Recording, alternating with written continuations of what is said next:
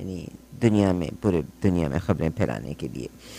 سابق army chief Bipin Rawat کو chief of the defence staff کے عہدے پر۔ دس از دی ایک ڈپارٹمنٹ ہے جس کو پہلی دفعہ انہوں نے بنایا ہے۔ اور بھارتی چیف جو بپن راوت ہیں، ان کو اس طرف منتقل کیا گیا فار نیکسٹ فائیو ایئرز وہ اپنے نئے عہدے پر یعنی جنرل بپن راوت جو ہیں، چیف آف ڈیفنس سٹاف کے عہدے پر کا چارج بدھ کے روز انہوں نے سنبھالا یعنی یسٹرڈے انہوں نے وہ چارج سنبھالا۔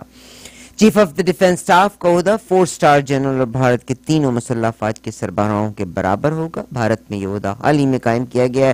اور جنرل بپن راوت اس عہدے پر تعینات ہونے والے پہلے آرمی چیف ہیں۔ بھارتی ذرائع ابلاغ کے مطابق وہ تینوں مسلح فاج کے سربراہوں کے ساتھ مشاورت کرتے رہیں گے۔ ہمارے ہاں ایکسٹینشن اور طرح سے دی جا رہی ہے، وہاں ایکسٹینشن ڈیفرنٹ طریقے سے دی گئی ہے۔ It's good be learn from our associates and from our neighbours بتایا جاتا ہے کہ چیف آف دا سٹاف مشترکہ کمانڈر کے ذریعے کمانڈ کے ذریعے تینوں مسلح فاج کے ایک مربوط نظام تشکیل دینے کے لیے وزیر دفاع کی مدد بھی کریں گے۔ بھارتی حکومت نے مسلح افواج کے ضابطوں میں تبدیلی کرتے ہوئے تینوں افواج کے سربراہوں کی سبکدوشی کی عمر باسٹھ سے بچا، بڑھا کر یعنی اب ریٹائرمنٹ کی ایج جو ہے وہ سکسٹی ٹو سے چینج کر کے انہوں نے سکسٹی فائیو پہ کر دی ہے۔ یہ صاحب ہمارے آفس کے ہمارے ایسوسیٹس بھی جاگ گئے۔ ایوری بڈی واز سلیپنگ شاید بعض اوقات کام زیادہ ہوتا ہے۔ اچھا یہ کہتے ہیں کہ بھوک اور نیند کو جتنا مرضی بڑھا لیا جائے، بھوک بھی اتنی بڑھ جاتی ہے، نیند بھی اتنی بڑھ جاتی ہے۔ جب ایکچولی ہم آرام کرنا شروع کر دیتے ہیں نا، تو پھر we get relaxed ہے نا? Isn't that true? Anyways دیکھتی آنکھوں کو عارفہ مظفر کی جانب سے السلام علیکم ورحمۃ اللہ وبرکاتہ پہنچے۔ امید کرتی ہوں کہ آپ تمام خیریت سے ہوں گے۔ دیکھیے صاحب، دو ہزار بیس نئے سال کا ایک دن تو گزر بھی گیا۔ Today is second which is almost gone now اور ایسے ہی زندگی تیزی سے گزرتی چلی جائے گی۔ میں دو سپانسرز کا پیغام دوں گی اور ایک پھر بہت خوبصورت میسیج دوں گی۔ ہماری آپ سے ریکویسٹ ہے کہ آپ پروگرام کو خود بھی سنا کریں اور اپنی فیملیز کو اس پروگرام میں ضرور ضرور بتائیے۔ ہماری بہنیں، ہماری بیٹیاں اگر آپ گھر میں بھی ہیں، آپ اپنے بچوں کو لک آفٹر کرتے ہوئے ساتھ میں ریڈیو آن کر لیں، تو آپ کو ارد گرد کے ماحول سے بھی آپ باخبر رہتے ہیں اور بہت ساری چیزوں کے بارے میں پتہ بھی لگتا ہے۔ ایک تو میں بتانا چاہتی ہوں کہ ڈاکٹر فرت ہاشمی کی آج کلاس میری تھرڈ لاسٹ کلاس تھی اب last two classes will be Saturday and Sunday Saturday کو بھی انشاءاللہ ہم دس بجے سے لے کے ساڑھے بارہ بجے تک وہاں پہ ہوں گے۔ Ten to ten to twelve thirty صورت البقرہ کے بارے میں ہی ہم پڑھ رہے ہیں۔ آج تابوت سکینہ کے بارے میں ہم نے پڑھا۔ آج جو ہمارا کلاس تھی، پوری زندگی کا لایا عمل یعنی خیرات، صدقہ آپ شادی بیاہ کے لیے کیا حقائق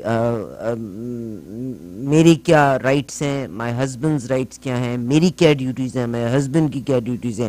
نکاح کیسے ہونا ہے؟ عدت کیسے پوری ہونی ہے؟ موت کے بارے میں، جائیداد کی تقسیم کے بارے میں۔ I was just looking at خدا کی قسم میں بلکہ حیران ہو رہی تھی کہ واٹ این آرگنائز نصاب یہ آپ یوں سمجھ لیجیے گا کہ دوسرے پارے کا آخری رکو چوتھے رکو میں from the beginning till evening تیرہ سٹیپس کے بیچ میں مجھے پوری زندگی سمجھائی اس نے۔ اکثر لوگ جو نان مسلم ہیں، وہ ہم سے سوال کرتے ہیں کہ عورتوں کو پیچھے رکھا جاتا ہے، مردوں کو آگے۔ حالانکہ ایسی قطن کوئی بات نہیں ہے۔ آج انہوں نے قرآن کے میرا لایا ہم عمل ہے وہ تو الگ بات ہے کہ ہم کمزور ہیں، ہم نے قرآن پاک کو آلوں میں رکھ دیا اور ہم نے اس کو سیکھا نہ سمجھانا۔ کہ اگر آپ بیٹی یا بہن کے وارث ہیں اور اگر آپ اپنی بیٹی یا بیٹے کی شادی کرنا چاہتے ہیں، خاص طور پہ بیٹیوں کے حوالے سے، تو آپ اپنی بیٹی سے ضرور پوچھئے۔ اور آپ صلی اللہ علیہ وآلہ وسلم کا اصول بھی یہ تھا کہ جب وہ بیٹی کی شادی تھی یا کسی لڑکی سے بارے میں، تو آپ پوچھتے تھے کہ تمہارا فلاں نام تمہیں منتخب کیا یا پسند کیا فلاں شخص نے، کیا تم اس سے شادی کرنا چاہو گی اگر وہ لڑکی خاموش رہتی تھی تو اس کا مقصد ہے اس نے ہاں کی، اور اگر وہ انکار کر دیتی تھی تو آپ اس کا فیصلہ ختم کر دیا کرتے ہوتے تھے۔ یقیناً آج کے دور میں بہت ساری رسمیں عجیب و غریب جب ہمارے میں شامل ہوئی تو ہم سمجھتے ہیں، پتہ نہیں لڑکیوں سے پوچھا نہیں جاتا اور زبردستی لڑکیوں کی، حالانکہ ایسی قطن کوئی بات نہیں۔ ہمارے ہاں تو نکاح کی رسم بھی یہی ہے کہ باقاعدہ لڑکی سے اجازت لی جاتی ہے کہ فلاں فلاں تم سے اگر نکاح ہوتا ہے اتنے حق مہر میں تو کیا تمہیں قبول ہے کہ نہیں ہے؟ ایک اور چیز جو آج میں نے سنی کہ طلاق کا حق۔ مجھے پتا ہے میری بہت ساری بہنیں شاید میرے سے خفا ہوں۔ مجھے آج ہی every day we get one or other call مجھے آج ہی میری ایک بیٹی کی کال ملتی ہے۔ شی سیڈ کہ میرے ہسبینڈ نے مجھے بہت تنگ کیا ہوا ہے۔ اور میرے ہسبینڈ نے مجھ کو بیسمنٹ میں رکھا ہے۔ She had all kind of compliance میں نے ان سے پہلے یہ کہا، میں نے کہا، بیٹا، پہلی بات تو یہ کہ آپ غصے میں کال کر رہی ہیں۔ دوسری بات بیٹا اگر آپ بیسمنٹ میں رہتی ہیں تو کیا آپ کے ہسبینڈ اپ سٹیئرز رہتے تھے؟ نہیں، وہ بھی بیسمنٹ میں۔ تو میں نے کہا، بیٹا، پھر آپ یہ کمپلین تو کر ہی نہیں سکتے، کیونکہ he was also living with you اگلی بات، انہوں نے مجھے کبھی جاب نہیں کرنے دی۔ میں نے کہا، بیٹا یو آر ویری لکی کہ انہوں نے آپ کو جاب نہیں کرنے دی، کیونکہ وہ آپ کے کھانے پینے کا بندوبست کرتے ہیں اور پھر ultimately make long story short پتہ کیا چلا۔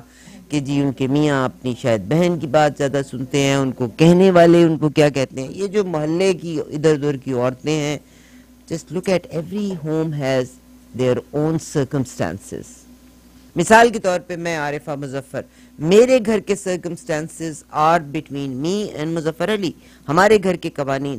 میرے گھر کے قوانین doesn't match to my real blood sister as well میرے بہنوئی اور میری باجی نے دونوں نے مل کے ایک سسٹم جب بنایا تو وہ گھر اس کے مطابق ہے۔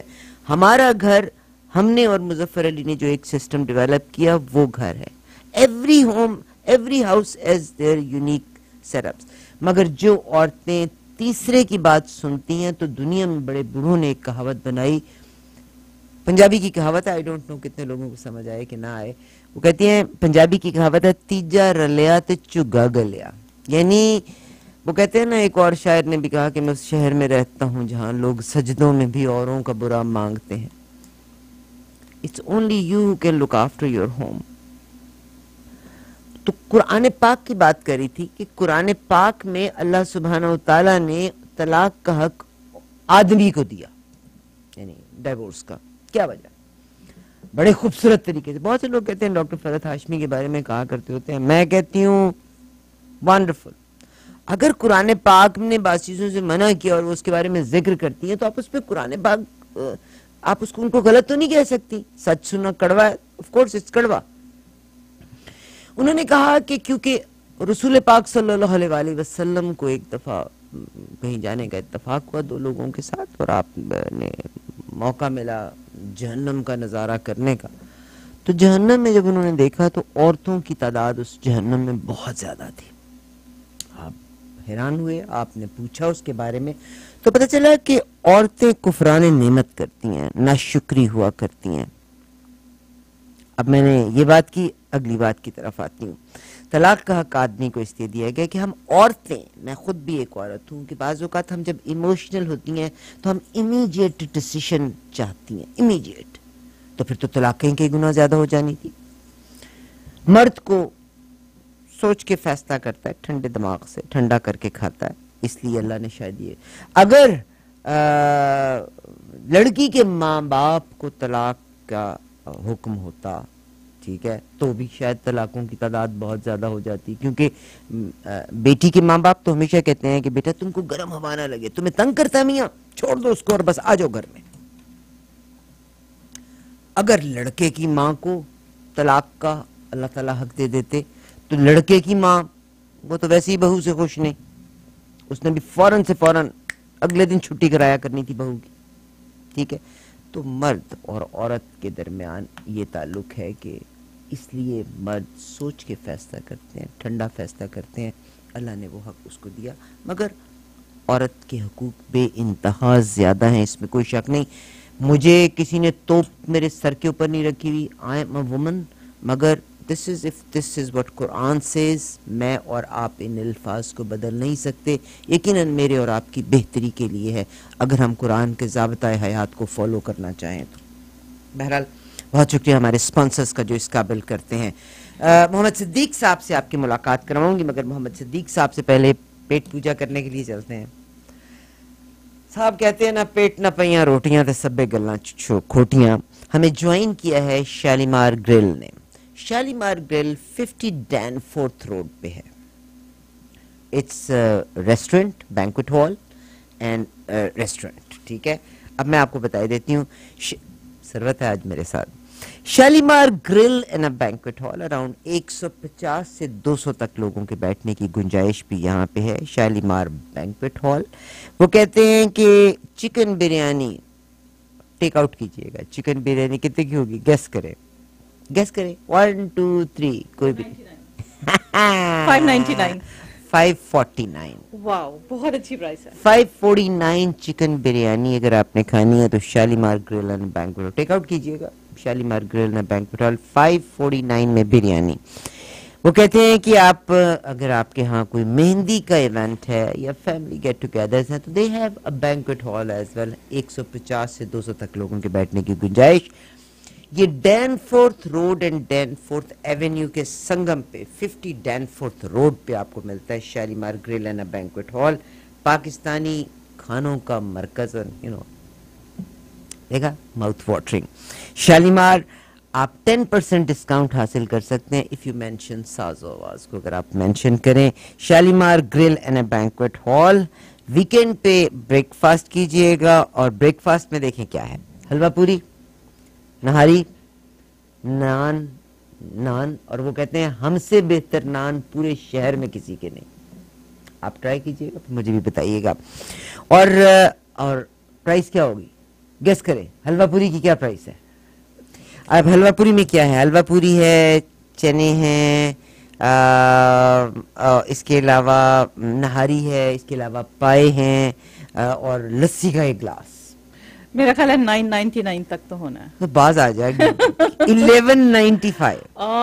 Eleven ninety five. اور سروت پوریاں پتہ کون سی والی جو پاکستان میں پھولی بھی پوریاں نہیں ملتی تھی؟ وہ والی۔ شالیمار گلن بینکوٹ ہال کا نمبر 4166862625 ایک اور اناؤنسمنٹ کرنا چاہتی ہوں۔ صاحب اگر ابھی تک آپ نے Zoom X O O M Zoom کی اگر آپ نے ایپ ابھی تک ڈاؤن لوڈ نہیں کی. ابھی محمد صدیق میرے ساتھ ہیں آپ دیکھیے گا. بتیرے انہوں نے ابھی کی. اور ابھی محمد صدیق سے جب میں پوچھوں گی انہوں نے کہنا ہے عرفہ بھائی جی میں نے ابھی تک تو ڈاؤن لوڈ نہیں کی ابھی کر لیتا ہوں.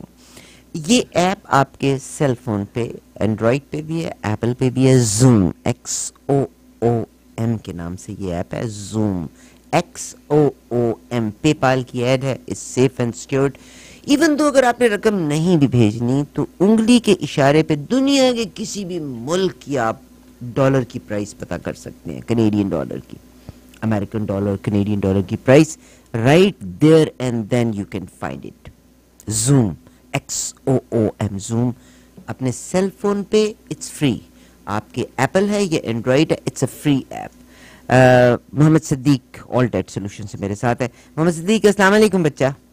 وعلیکم السلام بھائی عرفہ کیسے ہیں آپ؟ اچھا بالکل ٹھیک ہوں۔ مجھے بڑا اچھا لگتا ہے۔ ہیپی نیو ایئر میرے دل بر جانی ہیپی نیو ایئر میں اپنے بیٹے کو بھی کہا کرتی ہوتی ہوں میرا دل بر جانی ہے اور آپ بھی میرے بچے میرے بھتیجے بھانجوں کی طرح سے میرا بچہ۔ تھینک یو مجھے بہت اچھا لگتا ہے جب میں کسی کو ایٹ دا اسپاٹ پکڑوں۔ میں آپ کو پکڑوں ایٹ دا اسپاٹ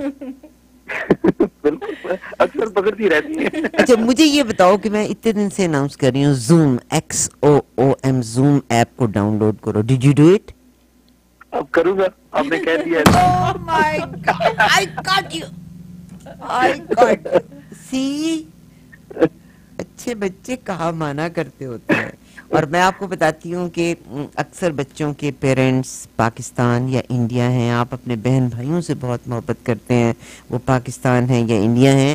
تو آپ just to find the rates what are the rates official rates جو یہاں کے سسٹم کے لحاظ سے جو آفیشیل ریٹس ہیں۔ if this app is there on your phone you can find rates to any country any country zoom x o o m کے نام سے یہ ایپ ہے۔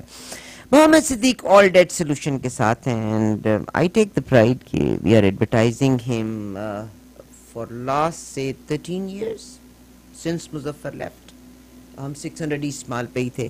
I have never got any complaint against ہم never ever never credit counselling کے لیے you can contact ہم اللہ نہ کرے کہ آپ کو ضرورت پڑے بٹ کبھی اگر آپ محسوس کریں کوئی چیز مس مینج ہو گئی ہے، آمدن اور اخراجات میں بیلنس نہیں رہا، تو کال ہے محمد صدیق کا number four one six six seven one zero five seven seven شہزادے، بتائیے کیا اسپیشل ہے؟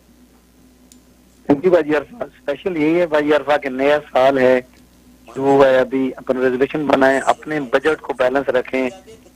اتنا خرچہ نہ کریں جس میں آپ کو بعد میں پرابلم ہو۔ اگر اسپیشلی کریڈٹ کارڈ آپ کے پاس ہیں تو ویکلی بائی ویکلی اپنا بجٹ دیکھیں کہ انکم کیا تھی اور ایکسپینسز کیا تھے۔ کچھ کریڈٹ کارڈ سے خرچہ تو نہیں ہوا اور کریڈٹ کارڈ کا بل پورے کا پورا پے کریں۔ مہینے کے بعد جب بل آتا ہے تو اگر اس پہ بیلنس چھوڑیں گے تو یہ چلتے چلتے آپ کو ڈیٹ کی طرف لے جائے گا۔ اور دوسرا، اگر آپ پہ چاہے چھوٹا سا ڈیٹ ہے، چاہے پانچ سو ڈالر کا ڈیٹ ہے، ضروری نہیں کہ آپ پانچ لاکھ یا لاکھ ڈالر آپ پہ ڈیٹ ہو تو مجھے آپ نے کال کرنی ہے۔ نہیں آپ پہ چاہے پانچ سو ڈالر کا ڈیٹ ہے، پانچ ہزار کا ہے، پانچ لاکھ کا ہے۔ اگر آپ منیمم پیمنٹس کر رہے ہیں یا ایک کریڈٹ کارڈ کا بل دوسرے کریڈٹ کارڈ سے پے کر رہے ہیں، تو ایک دفعہ آ کے مجھ سے مل لیں۔ فری کنسلٹیشن ہے پرائیویسی کا پورا پورا خیال رکھا جاتا ہے۔ اور جب میرے ساتھ بیٹھیں گے، اگر ڈیٹ کم ہوگا تو نہ تو آپ کا کریڈٹ خراب ہوگا، نہ ہی کوئی کچھ اور آپ کرنا پڑے گا۔ صرف منی مینجمنٹ کر کے یا لو انٹرسٹ میں کنورٹ کروا کے اپنے کریڈٹ کارڈ کو آپ اپنا مسئلہ حل کر سکتے ہیں۔ لیکن اگر آپ اس کو ڈریک کریں گے، اس طرح منیمم پیمنٹس کرتے رہیں گے، یقین کریں آپ کا پیسہ بھی ضائع ہوگا، بعد میں کریڈٹ بھی خراب ہوگا۔ کیونکہ پچھلے اٹھارہ سال میں میں نے دیکھا ہے کہ جو لوگ چھوٹے ڈیٹ کو سیریس نہیں لیتے، یہی چھوٹا ڈیٹ بعد میں جا کے بڑا بنتا ہے، جس جو کنٹرول سے باہر ہوتا ہے پھر آپ کو پرپوزل بینک یا ڈیٹ سیٹلمنٹ کرنا پڑتی ہے۔ لیکن آلریڈی اگر آپ کے ڈیٹ زیادہ ہو گیا ہے، تو اپنا پیسہ انٹرسٹ میں ضائع نہ کریں۔ آپ آئیں انفارمیشن لیں۔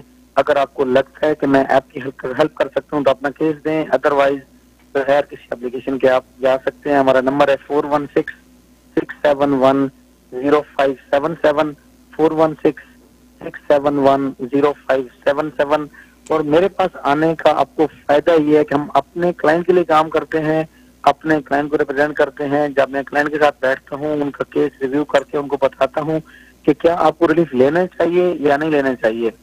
اگر مجھے لگتا ہے کہ اس کو ریلیف کے بغیر اس کا مسئلہ حل ہو سکتا ہے، تو اس کو بتا دوں کہ یہ آپشن لیں آپ، اس میں آپ کا مسئلہ حل ہو جائے گا، آپ کا کریڈٹ بھی خراب نہیں ہوگا۔ اگر مجھے لگتا ہے کہ اس کو ریلیف لینا چاہیے، تو پھر بتاتا ہوں کہ یہ آپشن آپ لیں ریلیف لیں اور اس کے بعد کریڈٹ بھی ہم آپ کا بلڈ کروا دیں گے۔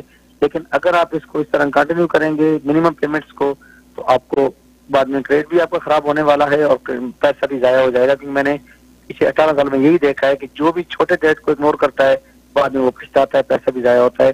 ہماری لوکیشن ہے اسکارگو میں مارکم ایلزمر کے پاس اٹوبیکو میں، ہیڈ آفس ہے، کپلنگ اور ریکسل کے پاس مساگا میں ہے ٹامکن ڈنڈاس کے پاس اور برمٹن میں ہے، ڈکسی بویڈ کے پاس۔ جو بھی لوکیشن آپ کو نزدیک پڑتی ہے، آپ مجھے کال کریں، میں خود آپ کے ساتھ بیٹھوں گا۔ آپ کسی ایشو کو ریویو کر کے بتاؤں گا کہ کون سے آپشن اویلیبل ہیں آپ کے لیے، کون سا آپشن آپ کو سوٹ کرے گا۔ اور آپ کے ایسٹس کو چاہے، آپ کے نام پہ پیڈ آف گھر ہے آر آر ایس پی ہے آر ای ایس پی ہے تمام ایسٹس کو ہم لیگل طریقے سے سیو کرتے ہوئے آپ کو ڈیٹ فری کرنے میں ہیلپ کرتے ہیں۔ کچھ آپ لوز نہیں کرتے، سب کچھ ایز اٹ از آپ کے پاس رہتا ہے۔ بڑی آسانی سے آپ اپنے آپ کو ڈیٹ فری کر سکتے ہیں۔ اس کے لیے آپ کو کال کرنا ہے four one six six seven one zero five seven six seven one zero five seven seven six seven one zero five seven seven number ہے جناب ہمارے شہزادے محمد صدیق کا۔ اور thank you very much nine zero four one six six seven one zero five seven seven. اچھا ہوتا یہ ہے کہ اگر پاکستان ڈے سیلیبریشن ہو تو ہم اونچی اونچی نعرے لگاتے ہیں، پاکستان زندہ باد یا کینیڈا ہو تو ہم اونچی اونچی گانا گاتے ہیں۔ O Canada. ٹھیک ہے؟ یا اگر کوئی شادی بیاہ کی تقریب ہو تو ہم اونچی اونچی گانے گاتے ہیں تو اکثر لوگوں کا گلا خراب ہو جاتا ہے بیٹھ جاتا ہے نا؟ ہاں۔ یہ محمد صدیق کا گلا کیوں بیٹھا ہوا ہے؟ نئے سال کو منایا ہے تو کیا انہوں نے نعرے مارے تھے وہاں؟ آپ کے گلے میں کیا ہوا ہے؟ آپ کو پتا ہے کہ موسم چینج ہو رہا ہے سردیاں ہیں اتنی سردی تھی نیو ایئر والے دن۔ کچھ نہ کچھ تو ہونا تھا۔ تو آپ کہاں گئے ہوئے تھے سردی منانے؟ ٹورنٹو۔ سیلیبریشن وہ اپنے نیتن فلپ اسکیئر پہ تھے۔ کیا کیا؟ کچھ نہیں بس دوستوں کے ساتھ۔ اچھا یہ بڑی حیرت ہے۔ مطلب آپ کے بیوی بچے بھی ہیں کہ صرف دوست ہی ہیں؟ وہ دوست ہیں بیوی بچے دوست ہی ہوتے۔ کیا مطلب؟ وہ دوست نہیں ہوتے۔ اللہ خوش رکھے آپ کو۔ تو بالکل صاحب سردی اثر اپنا چھوڑ کے گئی۔ محمد صدیق اور اچھا مزے کی بات ہے، جتنے جب باپ بن جاتے ہیں یا جب ہم امی بن جاتے ہیں نا، تو ہم پھر بچوں کو نصیحت کرتے ہیں، سیدھے چلنا، کسی کی طرف دیکھنا مت، پڑھائی کی طرف بڑا دھیان دینا، اور بس یہ نہیں کرنا اپنی جوانی میں سارا کچھ ساروں نے کیا ہوتا ہے سب کچھ سب نے کیا ہوتا ہے الگ، بچوں کو دوست بنا کے بتائیں، اور لگتا ہے یہ اپنی جوانی میں بڑے کھلنڈرے تھے از دیٹ رائٹ اچھا۔ میں مان ہی نہیں سکتا سارے باپ یہی کہتے ہیں۔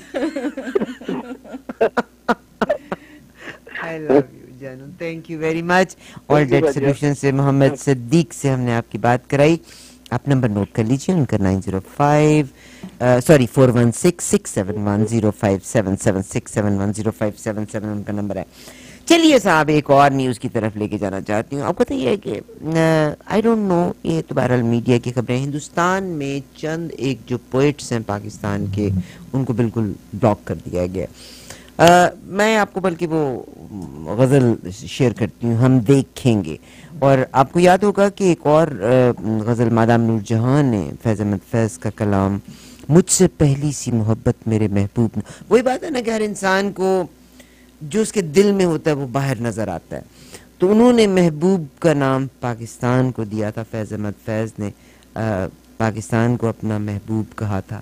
اور آرمی دور میں، جناب ایوب خان کے دور میں انہوں نے یہ اپنی غزلیں لکھی تھی مادام نور جہان کا یہ جو گیت ہے، جس میں مجھ سے پہلی سی محبت میرے محبوب نہ مانگ۔ ایک عرصے تک اس کا ایک بند ہے، خون میں لتھڑے ہوئے، گوشت میں لتھڑے ہوئے، خون میں نہلائے ہوئے۔ یہ بلاک تھا، یہ پاکستان میں پلے نہیں ہو سکتا تھا۔ ابھی انڈیا میں جو جس طرف انڈیا جس سمت میں جا رہا ہے آئی وش کہ گورنمنٹس وہاں کی کنٹرول کر لیں۔ میں I have said it repeatedly کہ آف کورس پاکستان میں بھی ڈسٹربنس ہے۔ آپ، ہمارا بلوچستان جل رہا ہے۔ کلبھوشن یادو پاکستان میں بیٹھے ہوئے ہیں، انہوں نے کنفیس کیا ہے کہ ان کا مشن ہی یہ تھا کہ انسٹیبلٹی پیدا کرنا ان ان ان ان بلوچستان. ٹھیک؟ Anyways I will not going to that that detail مگر ریسنٹلی جب ہم انڈیا میں جب ہنگامے ہوئے تو پاکستان کے چند، ایک جیسے میں آپ سے کہتی ہوں، میں نے ہمیشہ، ہم نے انڈیا کے گانے پلے بھی کیے living in Canada and of course ہم نے ہمیشہ سنے انڈیا کے گانے، بڑے خوبصورت گانے تھے ان کے، ہیں ان کے I mean it's part of the religion تو فیض احمد فیض کا، ہم دیکھیں گے۔ یہ ایک غزل اقبال بہنوں نے جو گائی ہوئی ہے اس کو بھی بلاک کیا ہے۔ انہوں نے پاکستان میں، انڈیا میں ان غزلوں کا، پاکستان کے جتنے پوئٹس ہیں، ان کی ان غزلوں کو آلموسٹ بلاک کر دیا۔ ہندوستان کے کا سب سے بڑا حراستی مرکز تقریباً تیار ہے۔ شہر کی گنتی شہریوں کی گنتی بھی جاری ہے۔ یہ صاحب، نئی دہلی، بھارت میں انسانیت وہ اقبال بانو کی آواز میں میں ہم دیکھیں گے بھی آپ کے ساتھ شیئر کرتے ہیں، مگر اس سے پہلے یہ انڈیا کی خبر شیئر کروں گی کہ بھارت میں انسانیت کی تزلیل عروج پر، غیر ملکی خبر ادارے کے مطابق ہندوستان کا سب سے بڑا حراستی مرکز تقریباً تیار۔ شہریوں کی گنتی بھی جاری ہے اور تفصیلات کے مطابق غیر ملکی میڈیا کا کہنا ہے کہ بھارت آسام میں ایک بہت بڑا حراستی مرکز بنا رہا ہے، یہ بھارت کا سب سے بڑا حراستی مرکز۔ بھارت کا اس حراستی مرکز میں ان افراد کو رکھے جانے کا مقصد ہے جو کہ بھارت کی شریعت حاصل نہ کر پائیں گے اور بھارت میں مقیم ہوں گے۔ اس حوالے سے بھارت کی جانب سے ایک لسٹ جاری کی گئی ہے جس میں ان افراد کے نام ہیں جو کہ بھارت میں شہریت نہیں رکھتے۔ اے اے اے، این، آر، سی، اسے A, N, R, C list کا نام بھی دیا گیا ہے۔ یونائٹڈ اگینسٹ ہیٹ گروپ کی ایک رپورٹ کے مطابق انیس لاکھ غیر دستاویزی تارکین وطن جو آسام میں این آر سی کے فہرست میں جگہ نہیں بنا سکتے، ان میں سے تقریباً آدھے کے قریب مسلمان ہیں۔ اب ہندوستان کے دو کروڑ مسلمانوں کو خوف ہے کہ اس عمل کو ہندو قوم پرست بھارتیہ جنتا پارٹی مسلم برادری کو پسماندہ کرنے کے لیے پورے ملک میں نافذ کرے گی۔ یہ مرکز جو ہے گوالیار کے دور دراز علاقے میں واقع ہے۔ چاروں اطراف کھلی زمینیں ہیں۔ ایک سڑک ہے جو کہ اس کو مرکزی شہر گوہائی سے جوڑتی ہے۔ حراستی مرکز کی ایک طرف سڑک جاتی ہے، جسے بھوت پہاڑ کہا جاتا ہے۔ رہا، مقامی رہائشیوں کے مطابق بات یہ ہے کہ بھوت صدیوں پہلے اس پہاڑ پر حکمرانی کرتے تھے۔ اور کسی بھی انسان کو اس کو عبور کرنے کی اجازت نہیں تھی۔ اب حراستی مرکز کی تعمیر کے بعد وہی دور ایک بار پھر سے واپس آ جائے گا، جہاں لوگ اس طرف جائیں گے، مگر پھر اس حراستی مرکز سے کبھی بھی نکل کے واپس نہیں آ سکیں گے۔ یہ تو تھی ایک اس حراستی جو گوالیار میں حراستی مرکز تعمیر کیا جا رہا ہے۔ کورس انڈیا کی سیکیورٹی ہے whatever they do they do right That's what it is. And I think Pakistan کو بھی اپنی اگر میری کوئی کمزوریاں ہیں تو میں اپنی کمزوریوں کو کسی دوسرے کی کمزوریوں سے مقابلہ کر کے جسٹیفائی نہیں کر سکتی. I have to strengthen myself and I have to وہ جو میری ویکنیسز ہیں ان پہ مجھے اوور کم کرنا پڑے گا. اینی ویز یہ تو تھی ایک خبر پاکستان سے ہندوستان سے. ہاں آپ کے ساتھ اقبال بانو کی بائی دا وے میں بتانا چاہتی ہوں گوگل کی بڑی خوبصورتی ہے۔ گوگل آئی تھنک سب کو ایک پلیٹ فارم پہ لا کے جمع کرنے کی کوشش کرتا ہے۔ اقبال بانو کا انتقال ہوا، بہت خوبصورت غزل پڑھتی تھی۔ گوگل نے بلکہ پچھلے دنوں میں ان کی برسی پہ اقبال بانو کو ٹریبیوٹ دینے کے لیے گوگل ڈوگل پہ ان کی تصویر جاری بھی کی تھی۔